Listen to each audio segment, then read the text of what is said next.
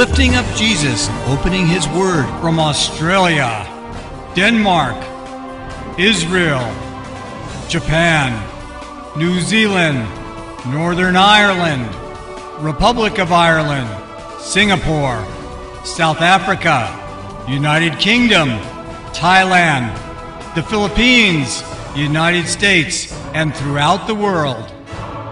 You're watching Moriel TV.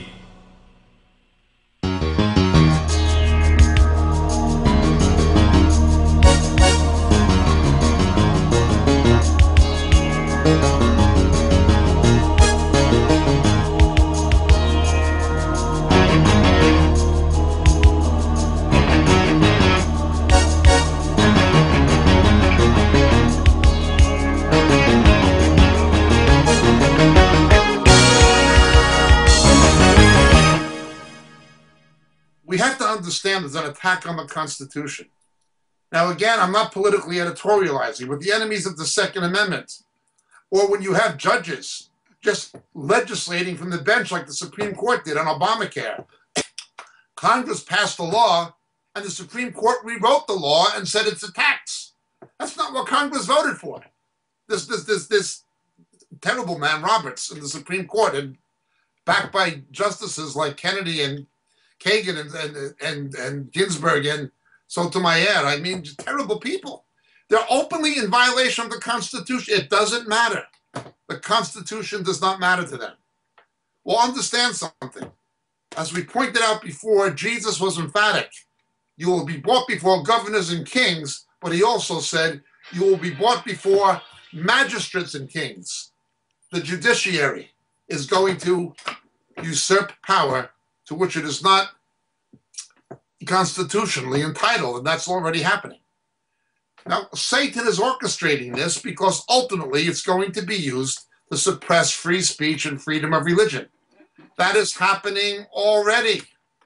It's happening already. The religious conviction of Christians, look what the Supreme Court did last week with that case in Seattle, trying to force a pharmacy to provide abortion products against the religious convictions of the pharmacy, of, of, of, the owners of the pharmacy. This is what is happening. You'll be brought before magistrates and kings. Again, come quickly, Lord Jesus. Maranatha, Mar Anatah. I cannot wait for those judges to stand before the judge. They will spend eternity in the lake of fire. Now, I would plead for God's mercy on America as a nation. And I would much prefer those wicked judges and these organizations like Planned Parenthood, but baby butchers. That's what they were doing. They were selling body parts and getting away with it. I would much prefer that such people repented and believed the gospel the way Jane Doe did in Roe versus Wade. And Jane Roe in Roe versus Wade, she repented and believed the gospel. I would much prefer they would do what Jane Roe did. But it's very unlikely most of them will. They will stand before the judge. The lake of fire is waiting for them. Hillary Clinton, doesn't matter if you win the election. The lake of fire is waiting for you. Barack Obama, the lake of fire is waiting for you. George Bush, who put a Koran in the White House, a book that says God has no son, and refused to say if homosexuality was wrong, take the log out of your own eye. That's not what take the log out of your own eye means. They will stand before the judge. Few of them will be saved.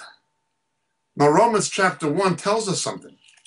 Not only does God give the practitioners of these perversions over to their perversion, to think it's normal, we are told in Romans chapter 1 those who condone such things are put in the same category. If you condone it, you become co-equally culpable of it. Romans is clear. We are told that those who practice such things are worthy of death. They not only do the same, but also give hearty approval to those who practice them. Barack Obama lighting the White House up in the colors of the homosexual flag, giving hearty approval. He's going to the lake of fire. It is very unlikely a man like that will ever get saved.